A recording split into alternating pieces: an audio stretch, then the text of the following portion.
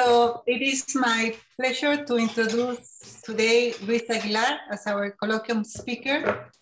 Luis, uh, many of us know him as, as you can see by this chat, but he obtained his bachelor degree from UNAM, from the Facultad de Ciencias, and then his master and PhD at the University of California, Berkeley. And he made a postdoc at the Harvard CFA, Smithsonian CFA um, Center for Astrophysics in Harvard. And then he came back to Mexico where he works at the Institute of Astronomy in Ensenada. And Luis is an expert in galactic dynamics, and he's um, in the recent years he has been collaborating in particular with the Gaia project with European groups, especially in Barcelona. And he is also known for um, his teaching activities and outreach activities. He's an excellent teacher, as you will see today. So we will learn many things. And he was just uh, telling us, for the people who arrived late, that he has this boat where he sails in, in the Bay of Ensenada that is called Second Childhood. So that's, that gives uh, some information about his uh, character. so thank you, Luis, very much. And it's a pleasure to have you here. Thanks for the introduction, Susana. And once the pandemic is over, I mean, whoever come, wants to come here to Ensenada, they are welcome and we, I can take them to, to sail on the Bay of Ensenada. Okay, today I'm going to talk about gravothermodynamics. So I have two background figures here, one on the left, which is about gravity, and one on the right, which is about thermodynamic machines, okay? Well, before beginning, I have a disclaimer, okay? This is not going to be a regular colloquium in the sense that I'm going to be presenting some original research. Rather, what I want to do is to give you a glimpse on in an interesting area of research that is seldom mentioned, but I find it very interesting and I hope that you also find interesting, okay? So this talk is more like a review of a given, a particular area of research. Well, so what is this thing about gravothermodynamics? Well, we have two parts to it. On the one hand, we have gravity, and the other hand, we have thermodynamics. So I'm going to make an introduction to each one of them. So let's start with gravity. Okay, as you can see, this little cat is experiencing some unusual fluctuations in the gravity field. Okay, what about gravity? I'm going to be talking about gravity in the non-relativistic regime. So this is gravity a la Newton. And so let's start at the beginning. Something that is curious about gravitational physics, uh, I don't know if you have pondered about this, is that this historical development, the conceptual, the development of concepts is exactly inverted to all the other branches of physics. In the other branches of physics, we start with some empirical macroscopic description of the phenomenon, and it's only later on that we develop a, a, fundamental theory about it, the basic interaction. So we go from thermodynamics to statistical mechanics, from fluid mechanics to kinetic theory of gases, and the bulk properties of materials to atomic and molecular structure. You can see that on the left, I don't have notions of molecules or atoms. I don't need them. I just treat them, the whole thing as, as a continuous fluid. Whereas on the other side, side the, the, the presence of atoms and molecules is fundamental, okay? But in the case of gravity, we knew what was the basic interaction from the very beginning, thanks to this guy, Isaac Newton. Now, he never wrote the formulas we write it nowadays. What he wrote is what I reproduced him from the Principia Mathematica. And I don't know if you can read Latin, but at least I think that you can follow what I have highlighted here in red, that this uh, force goes as the reciprocal of the square of the distance between the planet centers, and that is proportional to the quantity of material in them. So this is what Newton really wrote. Of course, nowadays, we, we, we write it like this. But this seems to be a very simple formula. I mean, they are not integral signs, not partial derivatives, they're just simple algebra. But nevertheless, within its simplicity, it hides a lot of complexity because it's long range and it's also nonlinear in the distance. And as you're going to see, there's a lot of interesting behavior that arises because of this. So let's start with the long range behavior. Imagine that you have a huge cloud of particles, point mass particles, okay? And you're at the center, okay? And the particles are zipping by, moving back and forth, okay? And now I ask you to imagine two parcels of the system at different distances from you, but with the condition that on average, they're going to be exerting exactly the same force upon you, the same magnitude of force, okay? Well, then you know that you have to scale the size of these parcels so that the number of particles in each one of them goes as the distance to you square, so that the force upon you, the average force upon you is the same. Very simple. And why is that? Well, the force scales as the number of particles in each parcel divided by the square distance. But what we care about here is not the magnitude of the force. What we want to know is how the force fluctuates because the force is not going to be constant. The force is going to be fluctuating because particles are coming in and coming out, okay? So the fluctuations in the force causes the fluctuations in the number of particles, the instantaneous number of particles in the parcel, divided by the distance square. And by Poisson statistics, this fluctuation in the number of particles just square root of the number of particles. Okay, if I plug back this first relation that we have here, that n goes as r squared, we discover that the fluctuations in force go down with the distance as the reciprocal, one over r. So these parcels exact, exactly the same magnitude of force upon me, but their statistical behavior is different. It's going to change with the distance. And that's important. Because then if I can imagine, for instance, here a plot of the instantaneous force upon me by parcels at different distances, I'm going to find out that although the average is the same for all of them by construction, the fluctuations are quite different. In the near part, I have an, an irregular behavior. And as, go, as I go to large distances, the behavior is smooth, smoother and smoother. Okay, so we talk about two regimes. The regular one is dominated by near neighbor interactions, and we call them collisions. Okay, whereas in the smooth part, that's due to the collection of distance particles. And this is the part that can be described by a global potential function. In the inner part, that wouldn't be the case. In the near, in the far away part, it will be the case. Now, associated to each spatial scale, I can associate a time scale. In the first case, it will be the collisional time, and in the second is what is called the dynamical time, okay? And a very simple cartoon, uh, cartoon uh, view of the what is the dynamical and the collision time are, is here. The dynamical time is essentially the time in which you go around the neighborhood, you go around the potential well. It's something like the period, okay? And if you want to assign a global dynamical time to the whole system, it's something like the size of the system divided by the RMS velocity. That's it, okay? In the case of the collisional time scale, it is like the time in which you are going to forget the memory of your initial conditions Another way of putting it is that the change in energy due to collisions is equal to the to the initial value you have for the energy, okay? And we're going to not going to derive it, but it goes like this. It goes like the size of the system divided by the RMS velocity, but times this purely numerical factor, which is the number of particles divided by the logarithm of the number of particles. And what matters here is the ratio of the collisional time to the dynamical time scale, because this is going to give you the degree of collisionality, okay? It's not the collisional time per se, but it's the collisional time in units of the dynamical time. In other words, how long, how many periods, orbital periods you have to wait before collisions start being important.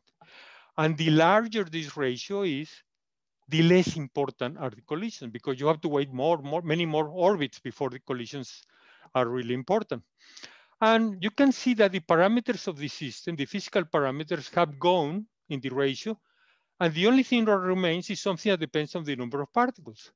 So that tells us right away that the larger the number of particles, the less collisional is the system. Okay. Now, this is very counterintuitive. I mean, I think that you will agree that there's more traffic accidents in Mexico City than in Morelia, just because there are many more cars in Mexico City than, than in Morelia. So how can I say that the more particles, the less important the collisions? Well, the important here is that what matters is not the number of collisions, it is their effect. Let's see, imagine a particle system that is in equilibrium. Here you have all of these mosquitoes going around, their velocity vectors are indicated. But now we do something that observers cannot do, and that is we can have an imaging experiment. So I pull out a knife and I split into each one of those particles, okay? So now I have a system with double the number of particles, which is still in equilibrium. So what is going to happen? Well, the rate of collision is immediately going to be multiplied by two because I have twice as many particles in the same volume. Then how can I say that collisions are less important? Well, let's see. The effect of an individual collision goes as the product of the masses divided by the square of the distance. If I split the particles in half, then m goes to one half of m. But on the other hand, now I have more particles in the same volume, so the mean separation is going to shrink. The mean separation goes as the number of particles to the minus one third power.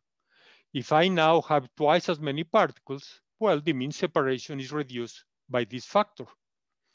Finally, the collision rate, as I said before, is just doubles. Now we put together all of them. The total effect of collision scales as the effect of an individual collision times the rate of collision. So here's the rate of collision and the effect of one collision. And now I substitute all of these factors that we worked out before. And if you do the algebra, you end up with the, uh, what, the term that you had before multiplied by this factor, which is less than one. So you see, the importance of collisions has gone down. It's not the same if you throw at me a bunch of sand grains or you throw the same mass, but in bricks instead of uh, sand grains. That's the difference. So of course, the number of collisions per unit time has gone up, but the importance, the overall importance of the collision has goes down, gone down. Okay. Ah, and here's a little table. You have a stellar group, globular cluster, galaxy, cluster of galaxies.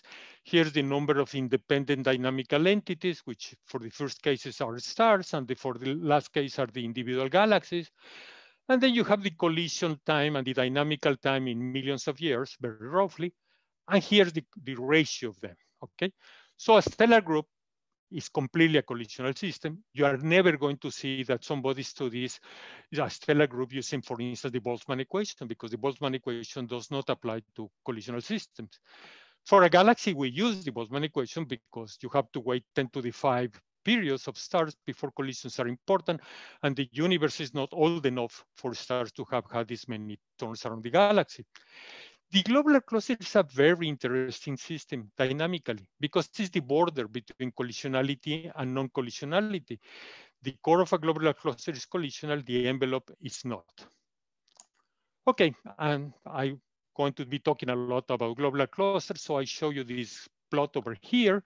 So what I have here in the abscissa is just the radial coordinate inside the globular cluster in units of the tidal radius. So it goes from zero in minus infinity in this log axis to one. And then I have a log axis for time here. Notice all of these orders of magnitude I have here. Now the red curve is the collisional time for this particular King model. And the upper dashed red line is the Hubble time, the, the age of the universe. And you can see that the crossing the, the, excuse me, the collisional time equals the age of the universe at this point. So I draw a vertical blue line here, and everything to the left, collisions are important. Whereas everything to the right, collisions have not had enough time to be important. So the, the globular cluster is a hybrid beast. In the inside is collisional, in the outside is non-collisional.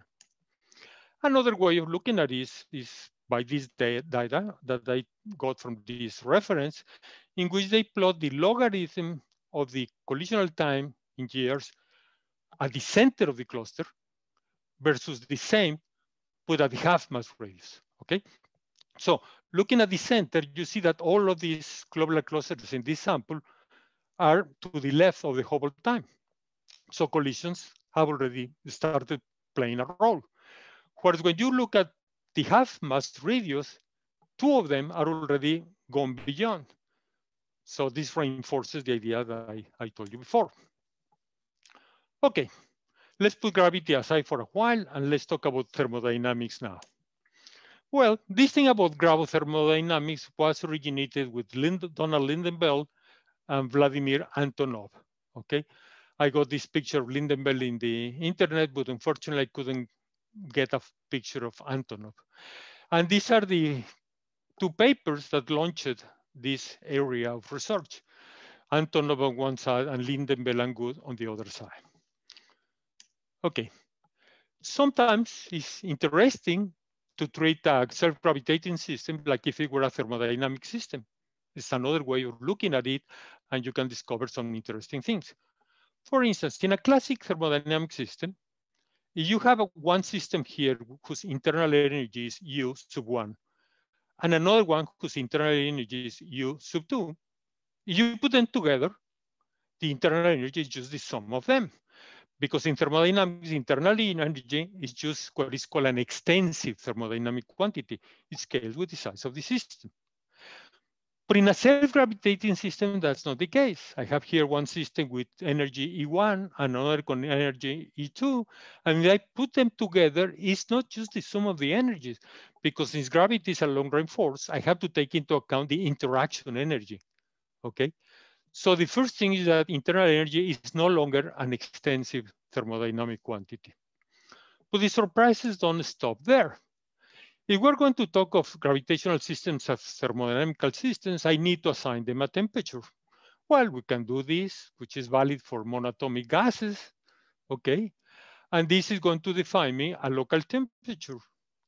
If I want to define a global temperature for the entire system, well, I can use, use this expression over here. I just take the local temperature and average it over the whole system weighted by the local density, as simple as that.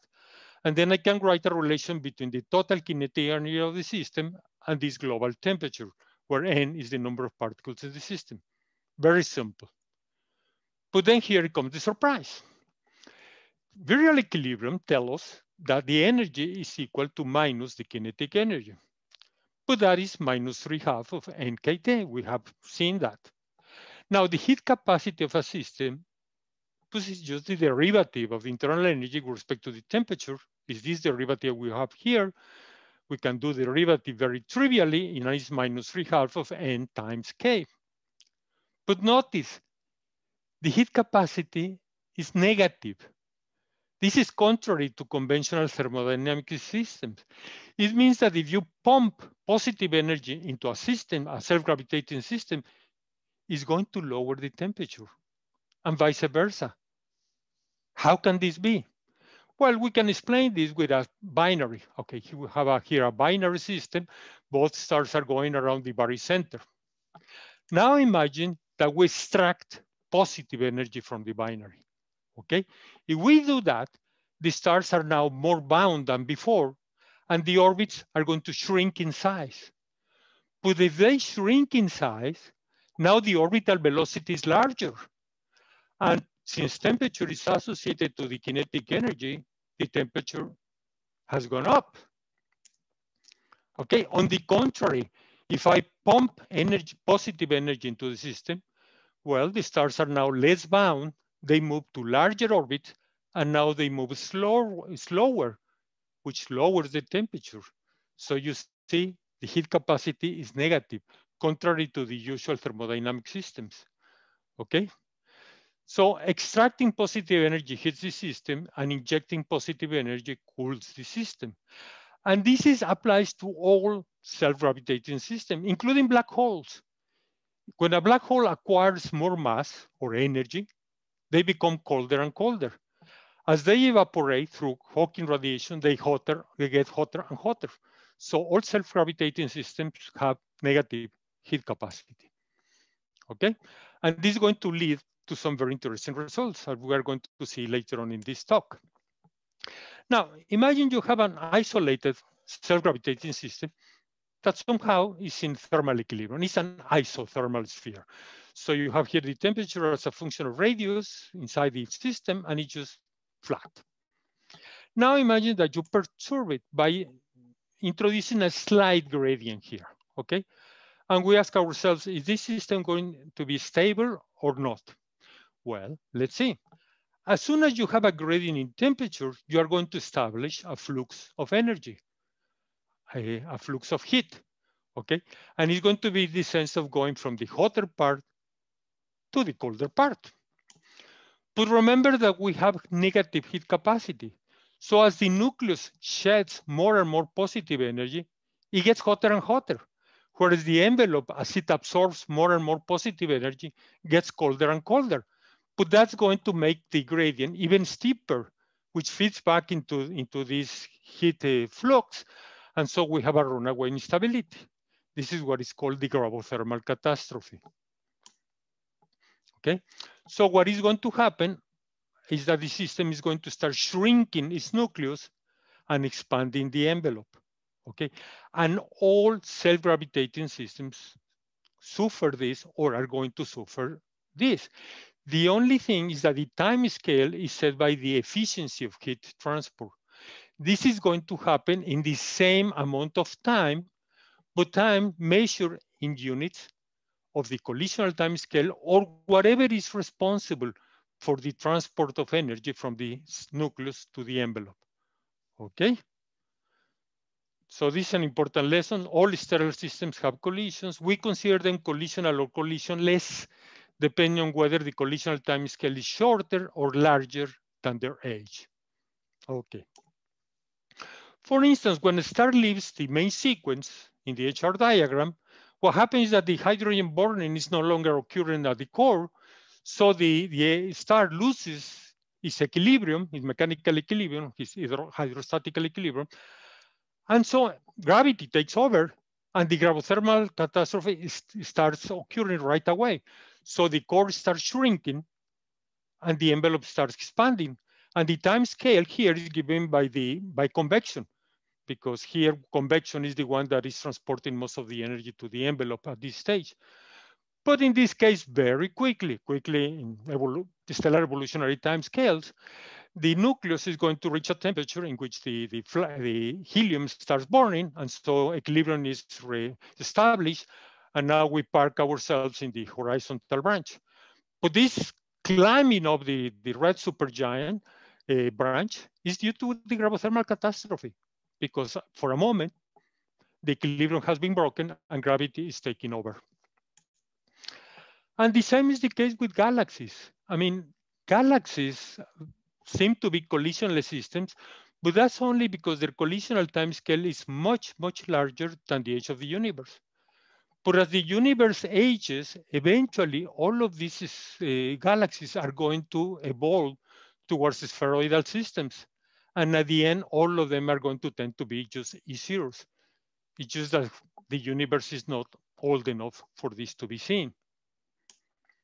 Okay, and it took a little bit of time for the community to accept this business about gravothermodynamics. In fact, here's a review paper from 1999 by Lynden Bell. And he is interesting what he says. He says, when I first used the concept of negative specific heat to explain Antonov's remarkable gravothermal catastrophe, the statistical community thought I was talking nonsense. so it took some time.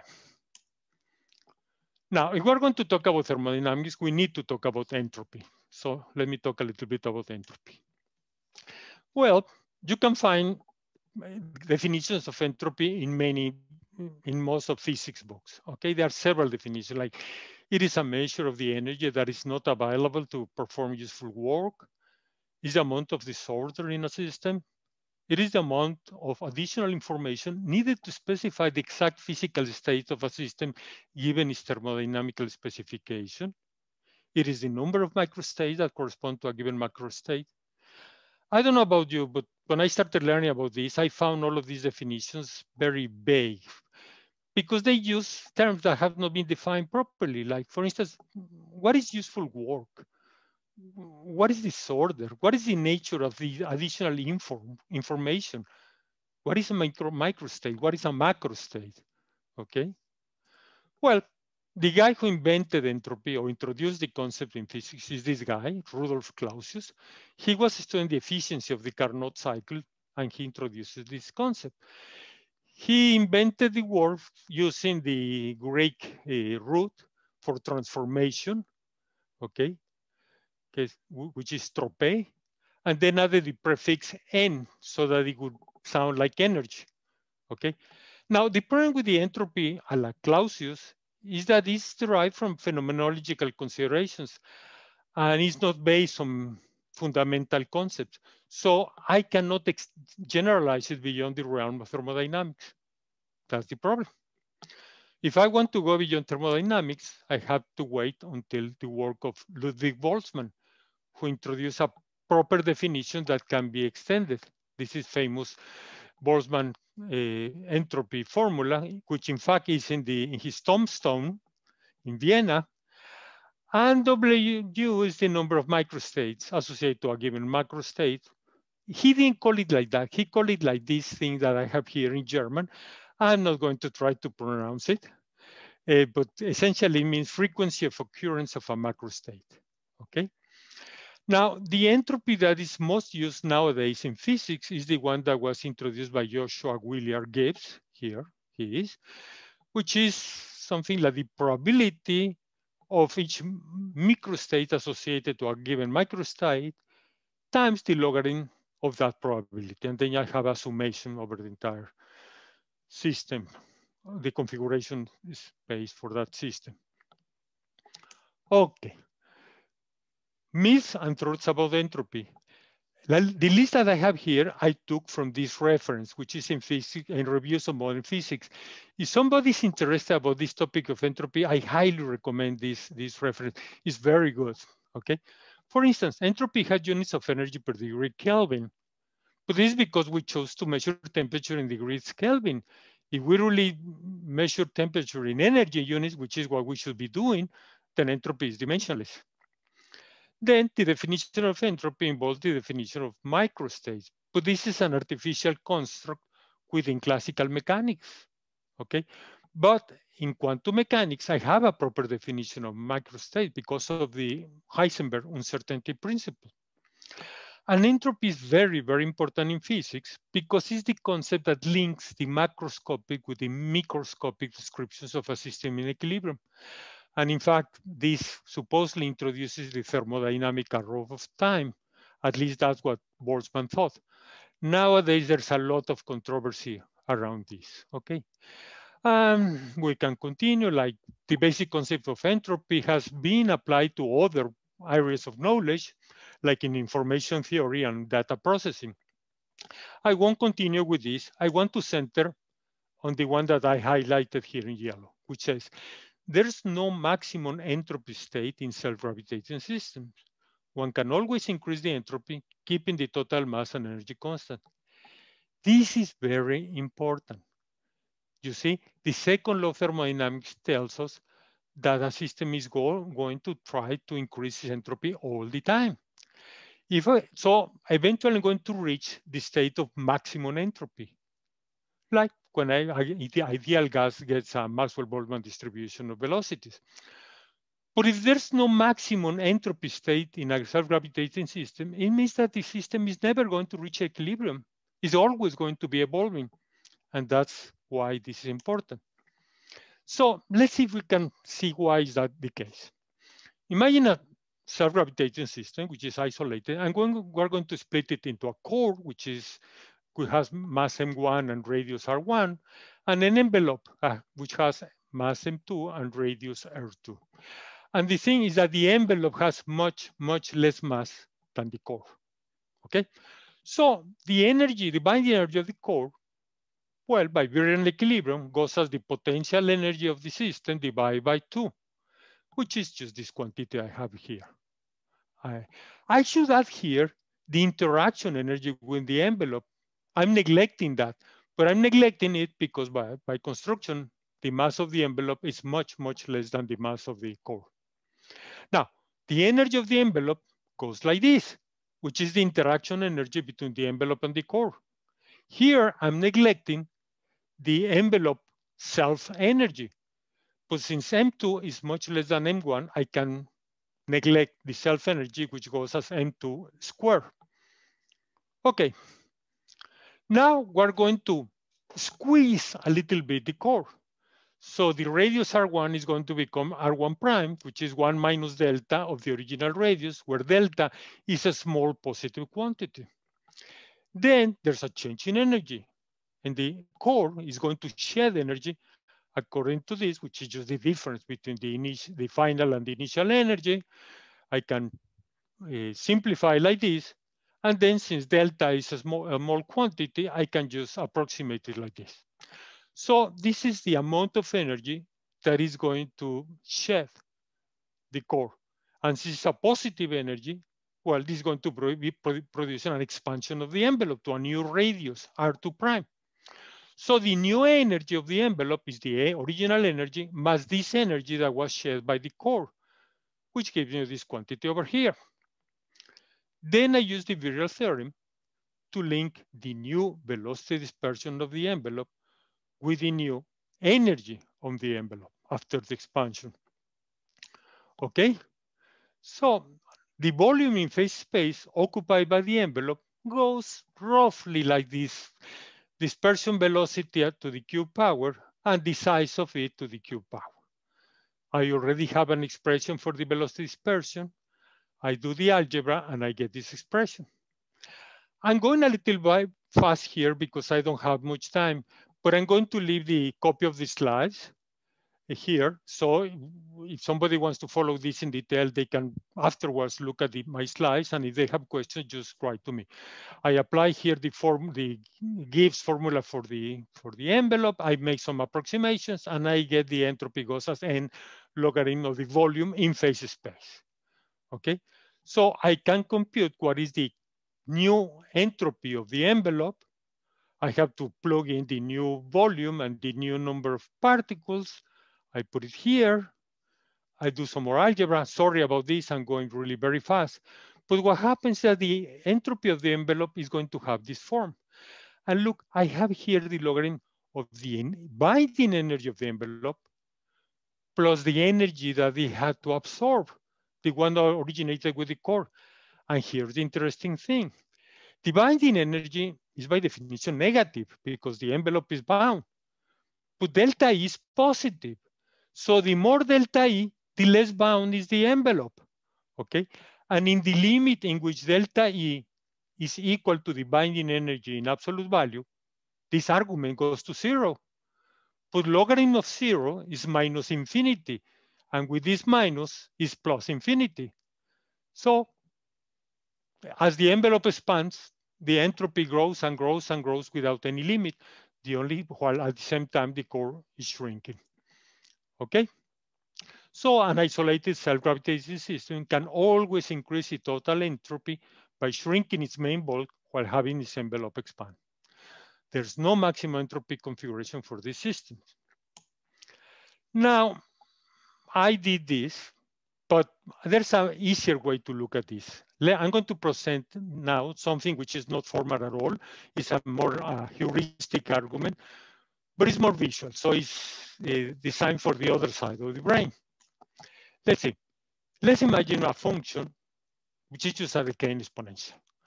And we ask the constriction that the area under the curve is always the same, equal to one. So that ties the coefficient to the alpha exponent that I have here. In the sense, they have to be the same. So as alpha shrinks, the function gets more spread out, okay? Now, I can evaluate what is the entropy of this system. Since this is analytical and very simple, I can do the evaluate the integral, and it's just one of alpha, okay? So I have here a plot of entropy as a function of alpha, and you can see that as I have a more spread out function, that is alpha is smaller, alpha is smaller, the entropy goes up and up and up. So as the distribution function becomes more spread out, the entropy increases. That is the key to having larger entropy. And it's the log function that is giving a bigger weight to the f function at large x values. For instance, if I spread up to very large, where f is like 10 to the minus 8, well, minus log f is like 8. So the key to maximize my entropy is to make the function more spread out. But you're going to say you are, you are cheating because you're showing me a function of just one variable, x, whereas you're talking about a function of a phase space, which has at least, at least two variables, one position and one velocity. So you have here uh, two choices. You can spread out in position or you can spread out in velocity. Of course, by conservation in energy, you have to shrink in the other coordinates. So in what direction is the entropy more efficiently maximized? Well, you get the answer from the virial theorem. Twice the kinetic energy is minus the potential energy. In other words, this square goes like this. And if you take the differential of this expression, you say that it pays more to spread out in position than in velocity because of this factor of two. So it's better to spread out in space, in configuration space, rather than velocity space. And that's what these systems are going to try to do. Okay, let's look at uh, more realistic models, like a king model. I mean, here I have here a globular clusters, and you see that is very well fit by the by the by this king model. Well, I have here the density profiles for different uh, king models, and what I did is that I computed the Gibbs entropy integral for various king models with different concentrations. Remember the concentration is the logarithm, let me go back, is the concentration of the logarithm of the tidal radius divided by the core radius. So the larger this number, the more concentrated the system is. Well, you can see right away here that uh, as the, as the concentration grows, the entropy also grows.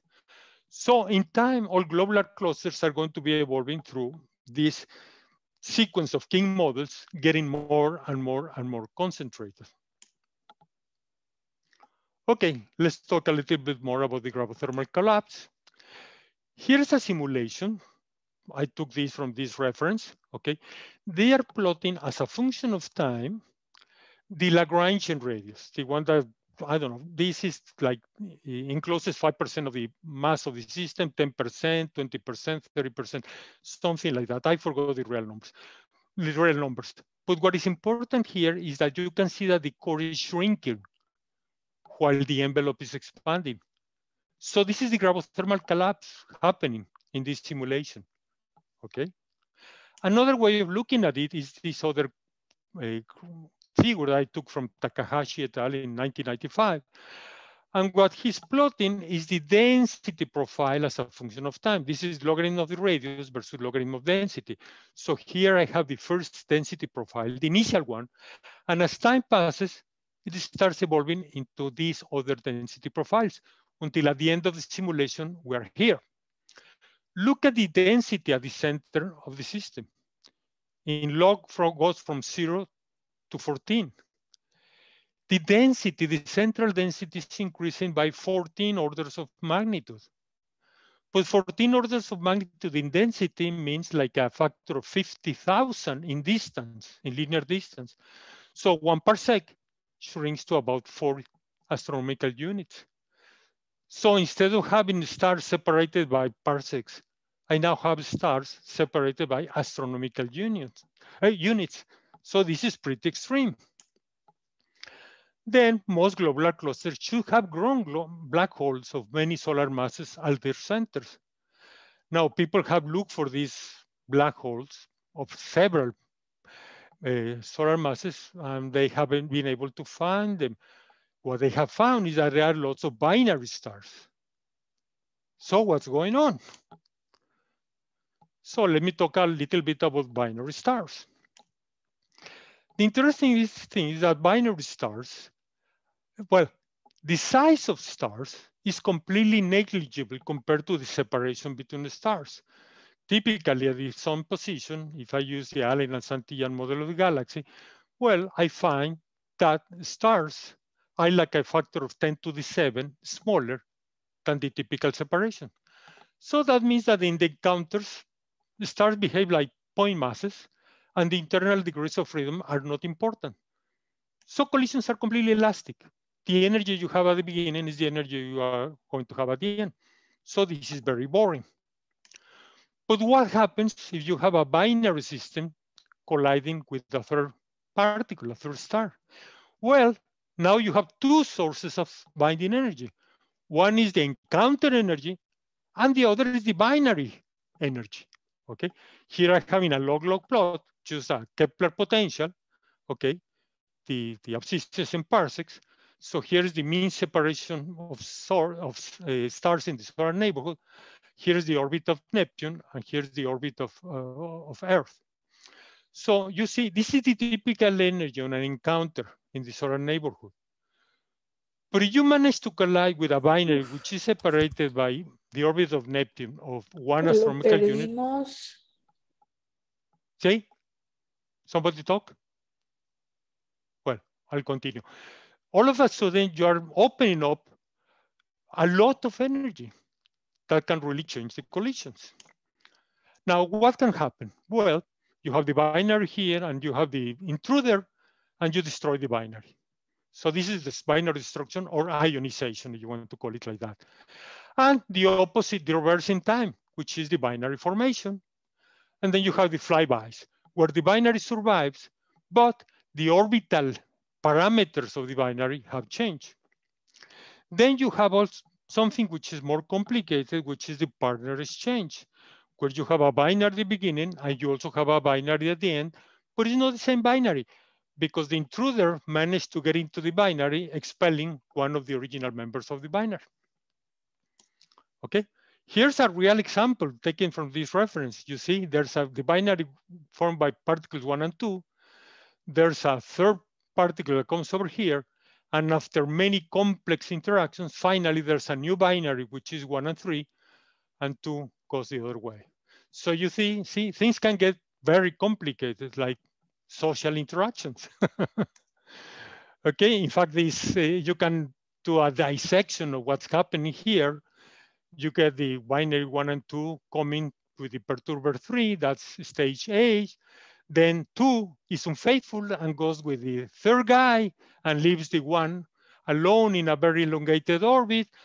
And stage V, this gets very complicated. You really have a menage a trois. And finally, at the end, you have the outcome of the new binary one and three with two going the other way. Now, in order to specify completely one of these encounters, you need a lot of parameters. I'm not going to describe them one by one because I don't have time, but there you have them. The important thing for us here is that we're talking about nine parameters. So this is a vast parameter space to explore. Uh, so what do we do? Well, let me describe you a very simple numerical experiment. This was done by this guy, Piet Hut, mm. in the 80s. He was at the time at the Institute for Advanced Study in Princeton. Well, he's still there. And what he did is to study interaction between a binary and a third particle, but in a simplified setup. Everything is two-dimensional. The binary is always initially in a circular orbit, and he only plays with three parameters. The impact parameter, which is zero for a head-on collision with the barycenter of the binary, positive for prograde encounters and negative for retrograde encounters. You have the orbital phase of the binary at the moment in which the experiment begins. And finally, you have the encounter velocity.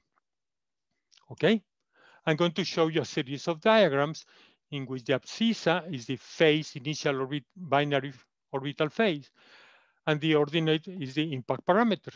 So remember, the upper part is prograde, the lower part is retrograde, and everything is going to be at a given fixed velocity. Okay, we start with a very large encounter velocity, six times the critical velocity. This is the critical velocity that makes the overall energy of the system equal to zero. Now, there's a whole mesh of experiments here. Where you see empty space, it's not that there's no experiment, it's just that it's a flyby, okay? Where you see an asterisk is that there was a binary destruction or binary ionization. And you see that we have these peculiar bands that spread out and then come back again and spread out and come back again. This is easy to understand. When the orbital phase is zero, the binary is aligned with the path of the intruder. And then if you have an impact parameter near zero, you're going to maximize the, the probability of destroying the binary. That's why you have the ionization region here.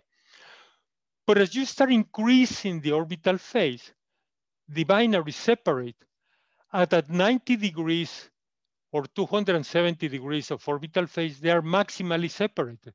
So if you go through impact parameter equals zero, you don't destroy the binary. You have to be either at the position to hit the upper binary member or the lower one. That's why you have these two regions and then it comes back again. So this explains the morphology of these ionization bands. As we start lowering the velocity, these bands start getting thicker and thicker. And then all of a sudden, at four times the critical velocity, you have these regions that I uh, color in green and blue, which are partner exchange. I start exchanging partners with member number one or member number two of the binary. Okay. Also notice that the is more likely to interact in a prograde collision than in a retrograde collision. We keep doing that and look at what happens at the critical velocity. I no longer have ionization. I only have flybys of partner exchanges. But look at the complicated geometry of these regions. I wonder if, if I had just described to you the setup, this experimental setup, you will guess that we're going to get this kind of uh, regions in solution space. And when we go be below the critical velocity, now we get these islands of resonant encounters. Okay, so this gets very complicated. And we're talking about a very simplified version of the three body problem. Well, this is work that was done long ago, early 80s. Let me show you results of a more recent work. This is from 2020. This is a different uh, cut in, in solution space, but this is again the three body problem and look all the complicated results that we have here. So even the planar three body problem is quite complicated. Bueno, well, and so what? Okay, I'm running out of time. Let me skip a bit these plots and I'm going to jump to this. It turns out that binaries can be split into two classes, soft and hard binaries. And that's because the collisional cross section weighted by the change in energy changes sign between one of them and the other. In a soft binary, we define it like the binding energy of the binary in absolute value is less than the kinetic energy, the average kinetic energy of the field stars. On the contrary, in a hard binary, the binding energy of the binary is much larger than the kinetic energy of the field stars. Soft binaries are wide binaries because they have low binding energy. Hard binaries are close together. Now, when we have an encounter, uh, a change in the energy of the binary is positive here, whereas negative over there. And a result of that, the velocity of the perturber after encounter gets lower down in a soft binary, whereas it's increasing the hard binary. Let's understand this a little bit more with, again, a heuristic model, okay? This is a cartoon model. Let's start with a soft binary. In a soft binary, the binary is wide, and so the orbital velocity is small compared with the perturber velocity. So when there's a close encounter with one of the members of the binary, you are going to have a, a energy exchange. And because of energy equipartition, the intruder that is going very fast is going to give energy to the binary member. Because of this, the perturber goes after the collision with smaller velocity.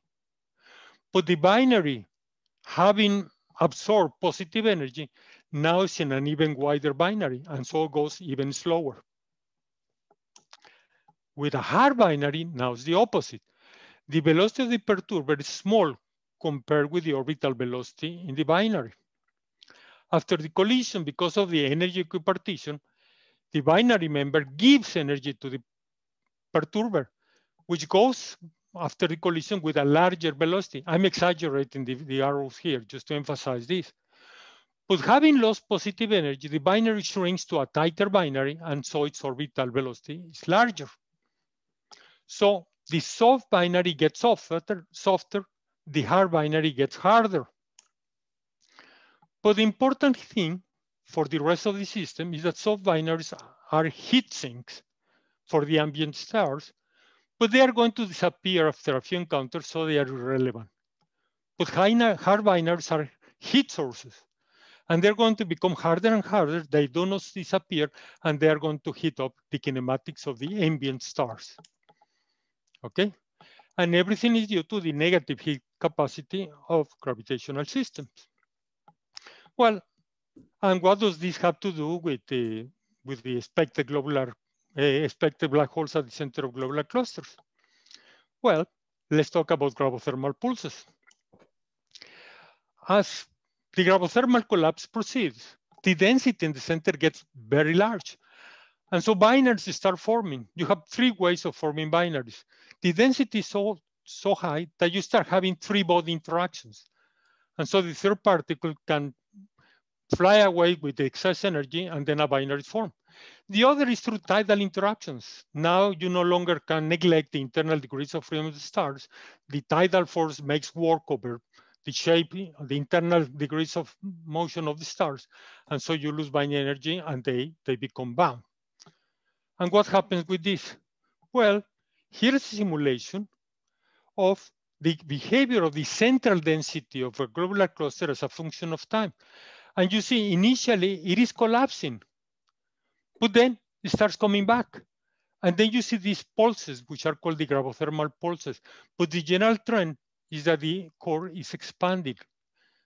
What is the difference of this simulation with the previous one? That now they have in, in, introduced the binary third body interaction cross sections into these simulations. So binaries are acting here, okay?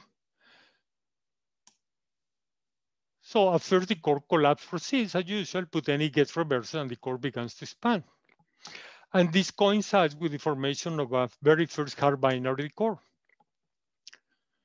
Okay, so the story is as follows. The core collapse proceeds as usual until binary starts to form the core and hard binary dominates. The hard binary kick starts around, hitting the medium and halting the collapse. As it gets ever harder and harder and harder, the recoil of the binary increases until the binary itself gets expelled from the core and core collapse resumes. But then new binaries form and eventually one hard binary dominates and the whole story repeats itself. Uh, I don't have time to get into this, but there's detail, detailed studies about this in which you can see how the core is evolving. And here's the binding energy in hard binaries. And you can see that every time a new hard binary forms, there's a kick and there's a gravothermal pulse here. Okay.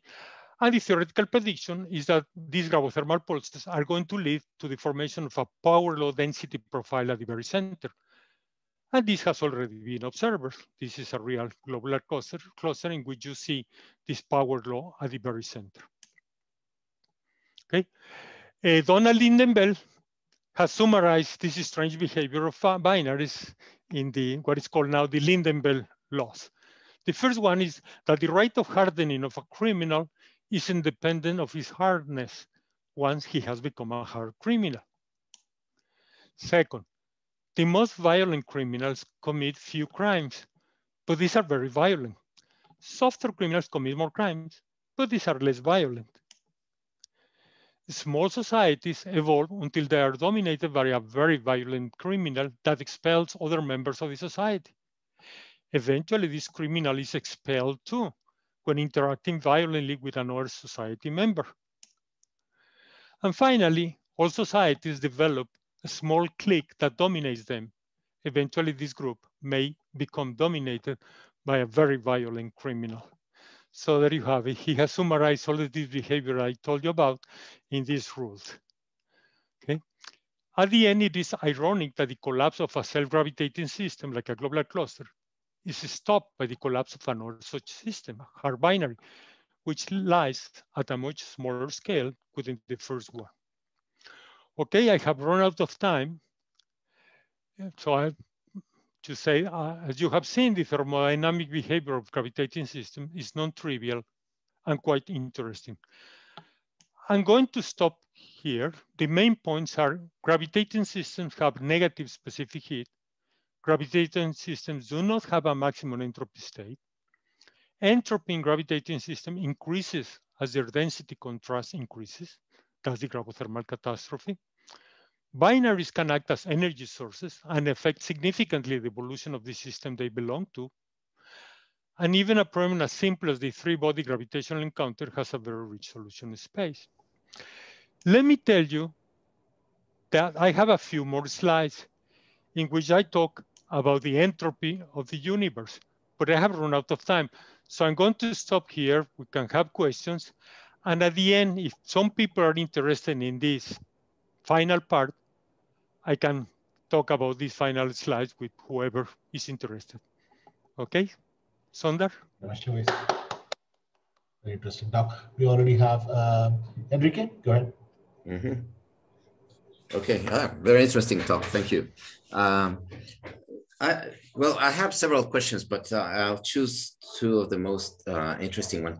First, um, you mentioned, uh, well, at, at several points, you used the standard virial equilibrium uh, relation that twice the kinetic energy equals the gravitational energy. But it was my impression that the system was not really in equilibrium because it was contracting. Uh, so uh, we have found instances in which uh, you can have like a pseudo-virial uh, behavior, but in a system that is out of equilibrium. So is it valid to us to use the equilibrium condition here when, when the system is precisely going out of one equilibrium and perhaps moving into another or something? Okay, let me address this one. Uh, remember, the gravothermal collapse is going mm -hmm. to go at the time scale of whatever is producing the flux of energy from the inside to the outside. Okay. In the case of globular clusters, the collisional timescales are really large compared with the local dynamical timescales. So okay. in that sense, gravothermal collapse is happening slowly. Okay. Okay. The other thing is that the virial theorem does not apply only to systems in equilibrium. Mm -hmm. It also applies to systems in quasi-equilibrium. Let's see. You derive the virial theorem from the second time derivative of the moment of inertia, mm-hmm. okay? And you ask for that to be zero, okay? A system in equilibrium, the first time derivative is already 0 mm-hmm. For the second time derivative to be zero, you don't need to be in equilibrium. It's enough that the first time derivative is linear in time. Mm-hmm. Okay, and that happens when systems evolve, but in quasi-equilibrium, slowly. Okay. So it's valid to apply the virial equilibrium. Okay. Mm. It's not that uh, something which is fast, as it could be the case, for instance, uh, for a star that abandons the main sequence. Mm -hmm. Okay, thank you. Mm -hmm. And the second question? Oh, okay. Well, actually, the second is is more like a comment, uh, it, but th this is uh, more something that we can talk about later. Uh, in one of my students' uh, research, we have seen something that looks exactly like you were mentioning about the core and the envelope. So, but yeah. this applies to gas. Uh, and so the, the question is whether this view can uh, be applied to a gaseous system as well. But we have been looking at, at, the, at the evolution of cores, and we see that precisely the central part gets denser while the outer, while the uh, more diffuse part gets more dispersed. And that, that's the evolution that we have been observing. We, we have been attributing it to the conservation of angular momentum, but it's interesting to see uh, it viewed from the perspective of entropy, although uh, these are gaseous clumps. And so I don't okay. know to what ex extent the same formalism could be applied. You are getting to something that is very interesting, mm -hmm. but also a bit mm -hmm. complicated. Mm -hmm. uh, you can write to me and then we can exchange some ideas. Uh, in uh-huh. fact, in the other part, the final part of my talk about thermodynamics of the universe, I'm going to talk a little bit about hybrid systems, which are mm -hmm. part ideal gas and part uh, gravitation systems. Mm -hmm. But I'm going to talk about very cartoonish uh, view. Mm -hmm. But there are people who have actually worked out these kind of things of hybrid systems in which in one part they are dominated by like an ideal gas and the other part is self-gravitating. And I can mm-hmm. give you some reference about this. Okay. Okay. Yeah, that, that'll be interesting. Thank you. Okay. Uh, Rosa? Yeah, I, very nice, um, Luis. I have always liked this subject very much.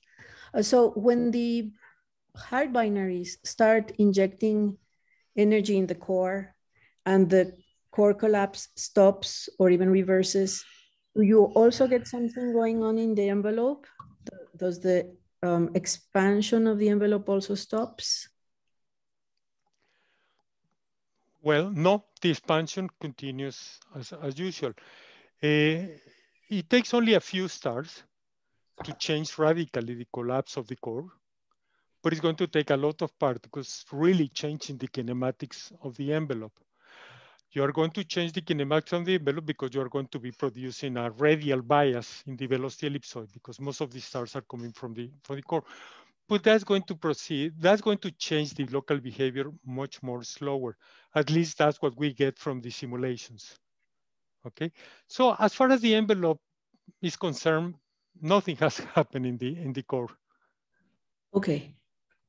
Okay, which would be different from what happens in giant stars. Once you hit the core, the expansion of the envelope stops, or maybe it doesn't, or you lose it. Well, once you uh, start the helium burning at the core, you have reestablished equilibrium, and so there's no longer gravothermal collapse. So the star is going to settle into its new hydrostatic equilibrium, which means that the envelope has to shrink. So you go to the horizontal so, okay, lines. So in, in globular clusters, the gravitational, the, the catastrophe, the gravothermal catastrophe is, does not stop ever. No, no, you're going to go through some uh, gravothermal pulses, but eventually what is going to happen, nobody knows because nobody has done simulations long enough.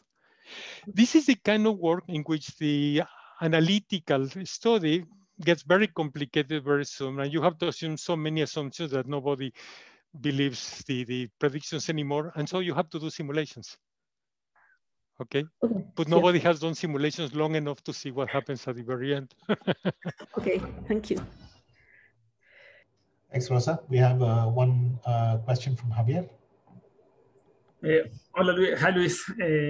Uh, hola. So, uh, hola, hola. Uh, so I was wondering, um, well, I have a comment and, and, a couple of comments and, and a question. So the question is, in the case of the King profiles, those are supposed to be the, the, the natural evolution of a cluster after long times, no? But, yeah. but in the profile that you show, I don't know if I saw it properly, there is a kind of cutoff at large scales. So it's not that it's really expanding all the way to infinity. That's a good observation. Yes, let me see.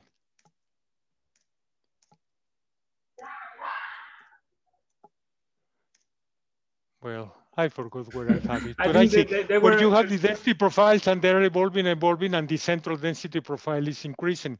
Yeah. Let me see if I can find it I think here. it's earlier uh, than that. Yes, let me see. Before that. Here it is. Uh -huh. This is the one you're talking about, right? No, I was uh, thinking in the King's uh, profiles that you showed. Well, this is a King profile to okay. start with, and then it's evolving time. Okay. But you see the envelope is staying large. It's the mm -hmm. core that is shrinking. Mm -hmm. Okay. Or perhaps it was this one? No, there, there was another one where you have the, the, the, the concentration. And it was clear, more clear, but maybe it's just the, the, the way in which you made the dimensionalization. I don't know. Well, anyway, okay.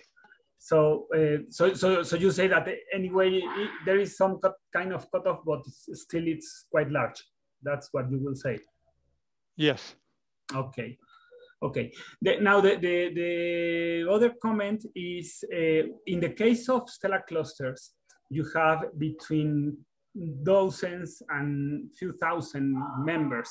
So then the dynamical, uh, the collision time scale compared to the dynamical time scales is right between few and some, no? It's, it's around 10 or 20, something like that, which in terms of the of actual time scales is comparable to the to the timing which you get rid of the gas if you are forming a cluster. No?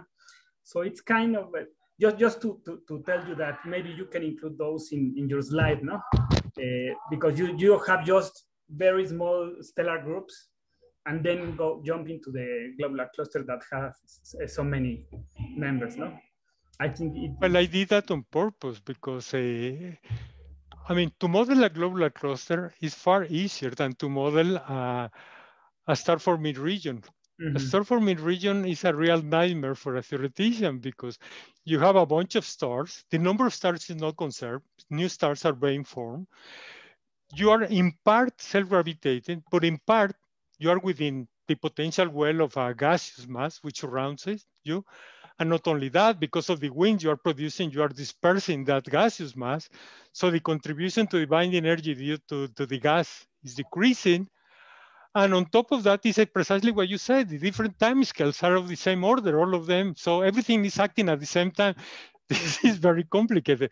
So the only way to really approach this is through simulations. Mm -hmm. And then you approach a theoretician who after looking at the results is going to say, of course, we expected this because of this, of this, of that. yeah. yeah. So, and, and then uh, regarding Enrique's uh, comment, I will, I will think that the, the rotational catastrophe occurs also in cores, but maybe it's enhanced, not because of, of thermal pressure of the gas. So then you kind of expand a little bit more the envelope than it, it will you will do in, in a stellar cluster, no? Yes, that, that's that a possibility. In fact, this is a very fascinating problem, and that's why I'm collaborating with you in this okay. problem, sort of. Thanks, Javier. Uh, we have time for one more question, if anyone has any.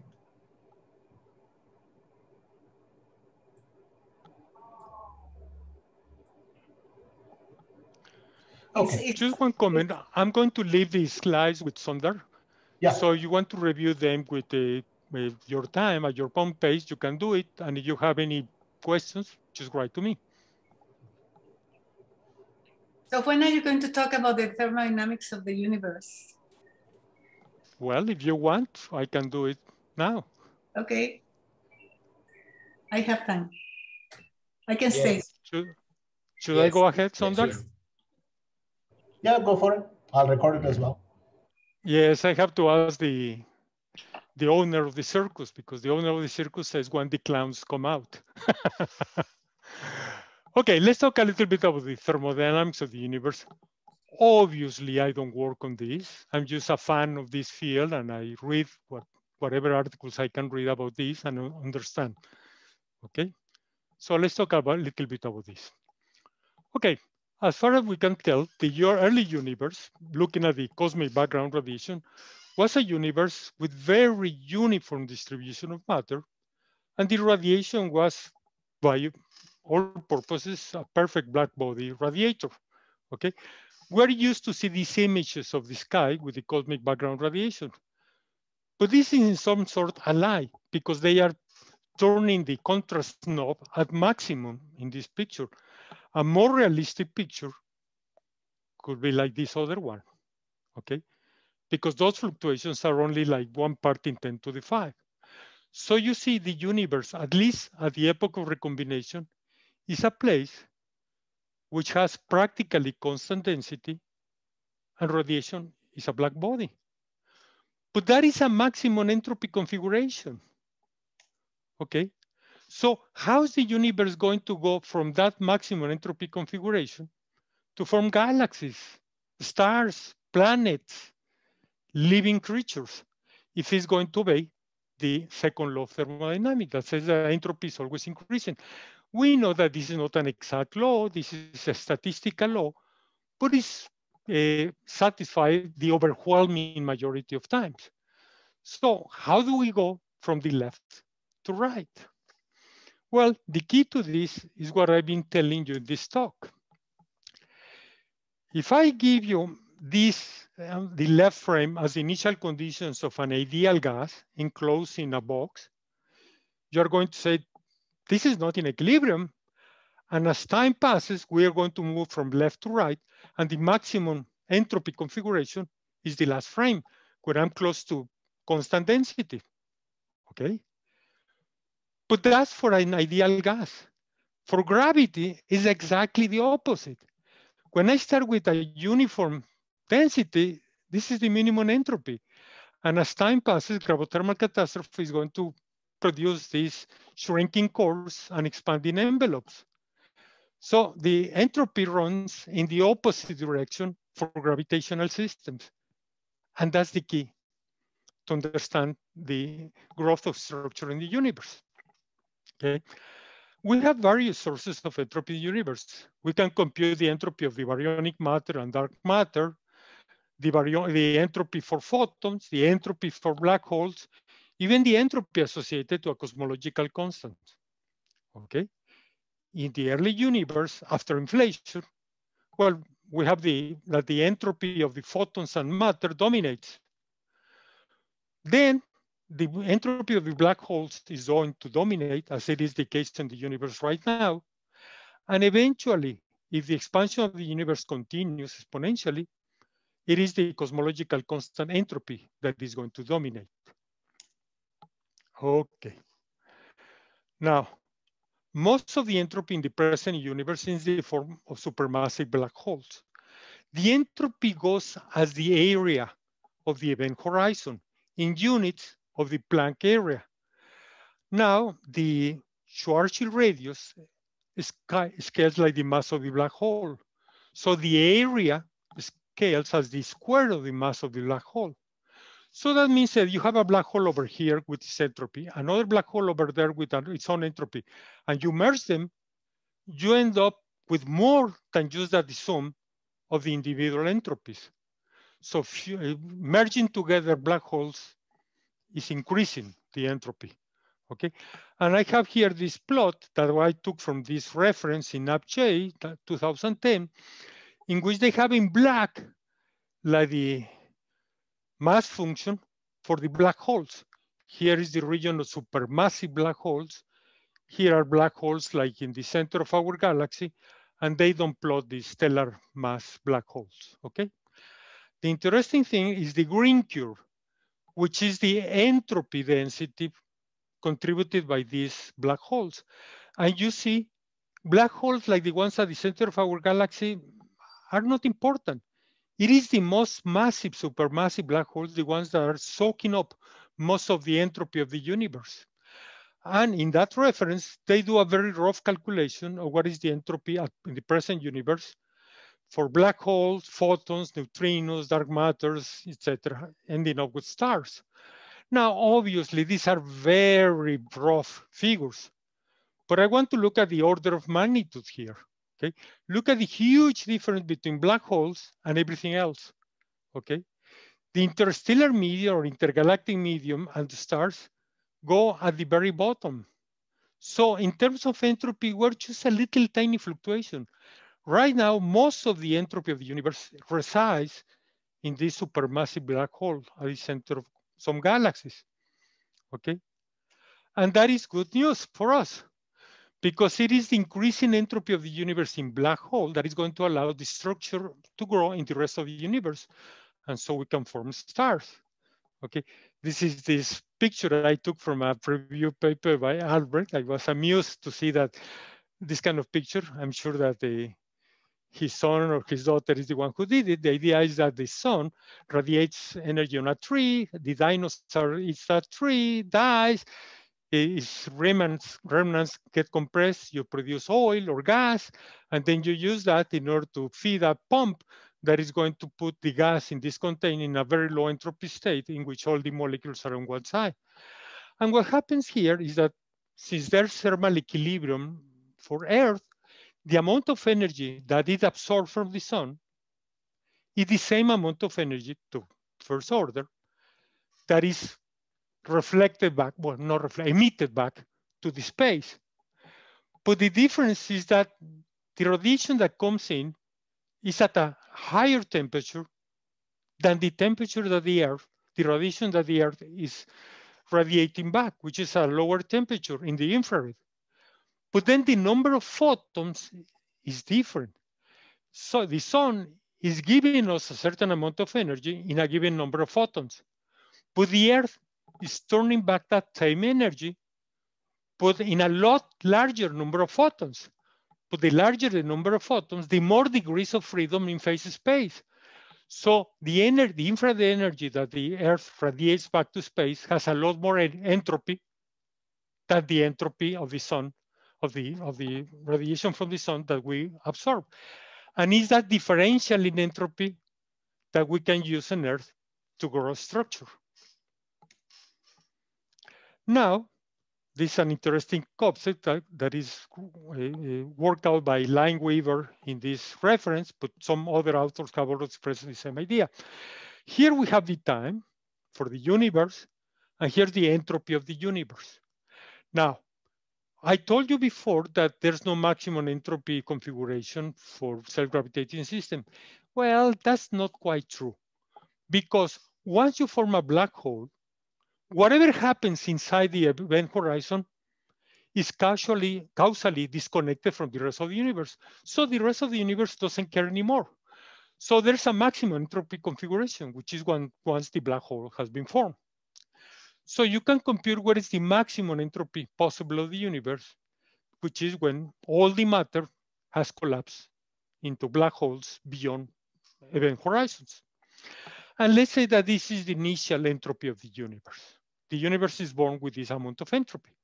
So as time passes, entropy is growing, growing, growing. And let's say that at present we're here. So this differential in entropy is something like the measure of the free energy that is left in the universe to drive all the purposes. Once that has shrunk to zero, that will be really the thermodynamic death of the universe. So what uh, what uh, permits the growth of the structure of the universe is that the universe started with a very low entropy state, gravitational entropy. Then the question is, how did the universe acquire this very special initial state? And this is not trivial at all, because we usually study Friedmann-Lemaitre models, but in Friedmann-Lemaitre models, you put the homogeneity and isotropy as part of the definition okay? So you're already biased to study this kind of very low entropy universe. The universe need not start like this. So what is the possible answer? Well, inflation. Because in inflation, the idea is that you have something called the inflaton field, which pervades the entire universe. And at one point, it, it, it well, it has a, a, potential energy associated to it. And the potential energy is frozen in a false vacuum state. And then at one point, there's a phase transition, and then you decay to the true vacuum. And what is going to happen that while you are rolling down, the universe behaves like a de Sitter universe in which you have a cosmological constant associated to the vacuum energy of this potential associated to the inflaton field. And so the universe expands tremendously. And at the end of the expansion, all of this latent heat or latent energy of the phase transition is released. And that's what forms particles in the universe as we have now. So that's the story I tells you, that they tell you. But it turns out that it's only a tiny fraction of forms of the inflaton field that give you this kind of behavior. You need to satisfy this condition which is the slow rollover condition that tells you that the magnitude of this energy is much larger than the derivatives of this inflaton field with respect to these parameters that define the inflaton field, okay? So something that they don't tell you that much is that you really have to contrive a lot the form of the inflaton field to produce an inflationary universe. Of course, nowadays, the fans of the inflationary universe uh, use the anthropic principle and say, well, we have to live in the universe in which we have this particular inflaton field, otherwise we wouldn't be here. So is this the end of the story? Well, if this really the case that we live in a universe that is becoming more and more dominated by a cosmological constant, then we no longer live in a Friedmann-Lemaitre universe. We live in a de Sitter universe, which is going to be expanding exponentially. And the scale of expansion is given by the cosmological constant, which is, as his name says, constant. And this is the entropy of the universe. This is going to be the overall entropy of the universe asymptotically. And this is going to be the true thermodynamic end of the universe. Now, something I just discovered recently that I don't quite understand yet, but I'm just going to put it over the table that I find very interesting is the following. Look, in physics, it has no meaning to talk about something you cannot measure or prove its existence, even if it's indirectly, like this idea about how many angels you can fit inside the, a pin head. Okay, that, that's not physics, that's metaphysics or philosophy or speculation, whatever you want. Well, look at it. For massless particles like photons, there's no time and there's no space. Why? Well, here's a Minkowski diagram, okay? The vertical axis is time and the horizontal plane is space, okay? And you have the future light cone and the past light cone. And these other hyperboloids are surfaces of, of constant interval se uh, uh, separation between events. And photons move along the light cones. So they don't intersect other hyperboloids. They only move along the light cones.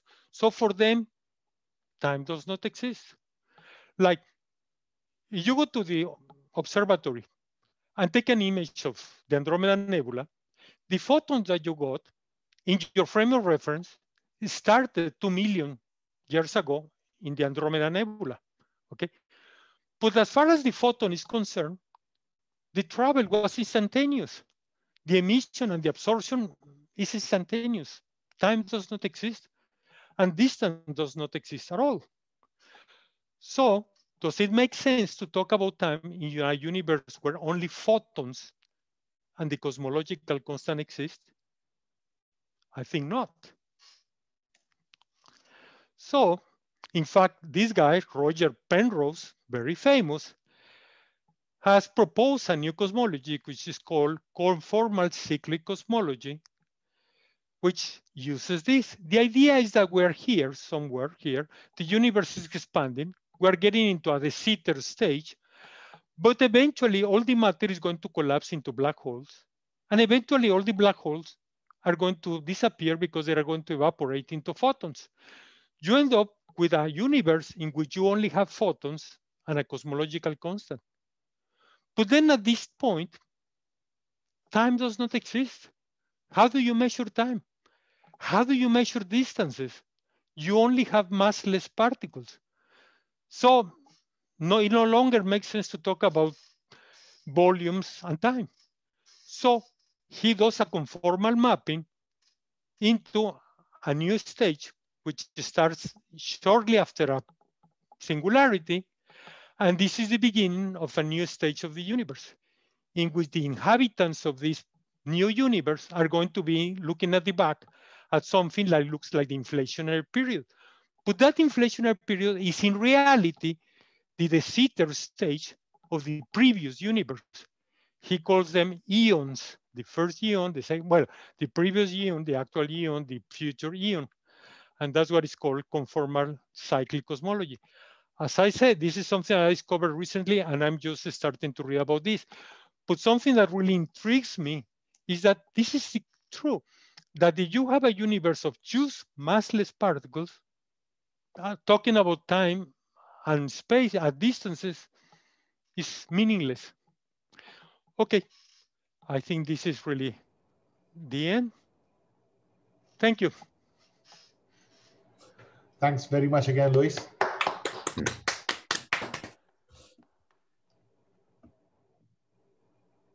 And Uh, so I will contact you. Um, oh, we have questions. Okay. Well, uh, Enrique, go ahead.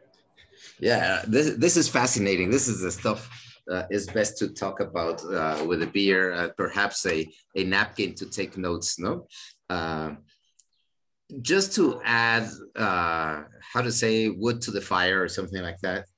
Uh, the you know it is it's always struck me at least for the last few years that gravity is really strange I mean, uh, I think all of these uh, weird behaviors that you have talked about come from the fact that gravity has a sort of negative energy. So in fact, I have heard uh, people say that the, the, the, total energy of the universe is zero, no? And, it is a flat universe, that's the case. Mm -hmm. And, um, and so it's funny that to, to have zero energy and have a universe that's full of stuff, no? Um, and, and uh, but it's because we, we think of energy as a positive definite quantity, but it is not. Uh, gravity has like a negative energy, and I think it's reflected on the fact that you have a negative heat capacity also for gravitational systems. So, uh, I, I, mean, I don't know. It, it's just struck me uh, uh or stricken me. I don't know. Uh, but in the past, but I think there's real mystery there. I mean, the nature of gravity is really strange and i think that's what gives all these strange behaviors and and and just like you said i had never realized the, the fact that it is precisely this opposite behavior of gravity uh, how it increases its entropy that allows for the formation of all the structure in the universe. So uh, so there's more to gravity even just from the newtonian point of view than we normally think about. And uh, and that's just to you know to add to the uh, to the endless question to the infinite questions on, on, this matter no? Mm -hmm. Okay let me start with the most important concept first uh, your first comment that mm -hmm. this mm-hmm. is something have to be discussed around some beers or wine. Mm -hmm. Well, as soon as the pandemic is over, you can invite me to come to Morelia and then we can go to a place to to yeah. drink mm -hmm, a lot right. of my favorite baryonic matter, and then we can talk about these things. Yeah. And about Perfect. the rest, yes, this is very intriguing. In fact, if you if we really live in a zero energy universe, what is responsible for all of this positive energy that we see around mm -hmm. is the negative binding energy of gravity. Exactly. to exactly. compensate the positive energy of the rest of the universe.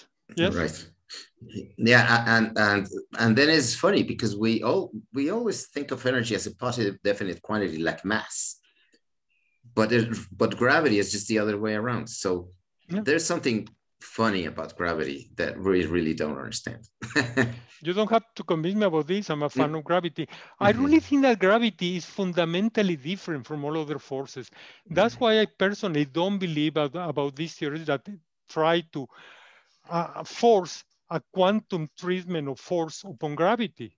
Mm. I mean, in, undoubtedly, gravity has to be quantized at one point, but I don't think that it should be quantized as the other force has been quantized. Mm. Gravity is a completely different beast, mm-hmm. okay? And it has to be looked at it differently. Oh, and speaking about that, it, it all people always say that gravity is a long-range force, but it's funny because it has exactly the same form as electro electromagnetic, uh, as the electrostatic force, for example. Uh, yet the electrostatic force is not such so long range. So where does the idea that gravity is a long range come from? It, it's not just from the fact that it's an r to the minus r to the minus two force, or is it? Or because electrostatic force it, is the same. It's because of the Debye it's always attractive. Say that again. It's always attractive. Electromagnetic force can be attractive or repulsive. That's, That's why. Can I comment here? Yeah. Mm-hmm. Well, okay. so the, the, the, the, they are, the equations are identical, but the difference is that matter is generally electrically neutral on average. Mm-hmm. And so the positive, as, as Rosa said, there are attractive and repulsive aspects to it. And on a scale larger than the Debye radius, mm-hmm. then they cancel out. That's the definition of the Debye radius, mm-hmm. where the, the shielding of the positive and negative um, charges is such that there is no longer any effective long range. Force. Yeah, but but then it is not really the force that is long or short range. Is the nature of the charges or the masses. Uh, it, it, the the true yeah. reason for it being long range is that there's nothing to cancel it but then it is not the it is not because of the force it's because of the because you can have negative charges in the electro, electrostatic case for example so it's not really the, the form of the force. Uh, it is the nature of the charges. No, no I think it's the, it's the nature of the force. But the laws are identical. Yeah, but I mean, uh, the, the, the nature of the force is long range. You don't have that in, in quantum forces. No, no, I, just, I, I, was just saying the, electro, the electrostatic force, for example. Yeah, well, that's that's a long term also, a long range. The, the, the thing is that it, it, cancels out. Exactly, but it would be long range if the if charges would were uh, positive always. We're always positive. Yeah. Yeah. Okay. Yeah. Mm -hmm. Interesting. Yeah. And and water water is also very strange. Yeah, water is very strange. Water is strange. So it turns out that our existence depends on all the, and these two things at least that are different from all the other things. That is true. Mm-hmm. But yet, I refuse to accept any anthropic uh, arguments, right? Okay. Because yeah, I, yeah. I, always say that if the universe were different, then we would be different.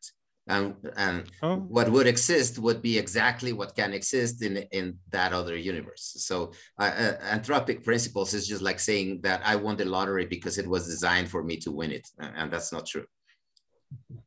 That's a very good argument. Yeah, right. Yeah. Mm -hmm. And in fact, uh, the anthropic principle is to renounce to explaining anything. right, exactly. yeah, it's almost like uh, saying it was designed to be like that. yeah. So it's the last step be before getting religious. Great the talk. The universe was, was uh, designed for us. Exactly, exactly. Okay. Great. Gracias, Luis. Estuvo padre. Yeah, very interesting. Uh -huh. Bueno. Gracias, Luis. Gracias. Nada, pues Gracias. me dio mucho gusto platicar con ustedes y pues ya que pase todo esto me encantaría visitarlos de. Órale. Muy bien. Pues ya estamos vacunados ya pronto. Hey, yo también ya estoy vacunado. Esperamos que ya pronto esto vuelva a la normalidad. Órale. Bueno, chao. Chao. Muchas gracias. Muchas gracias. Bye bye.